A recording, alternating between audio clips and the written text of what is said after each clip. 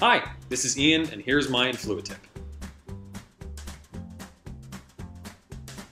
If you've sent an invitation to a potential advocate, but they haven't accepted or didn't receive it, you can resend invitations to advocates who are not joined. To resend an invitation, first head over to the Advocates tab. From here, find the advocate you want to re-invite. Once you have found the advocate in question, click the Not Joined button under the advocate's name. This will open a pop-up window giving you two options to re-invite the advocate. First, if you want to resend the invitation from the hub, choose the sender, subject, and content of the email and click Send Invite. Second, you can choose to resend the invitation code yourself.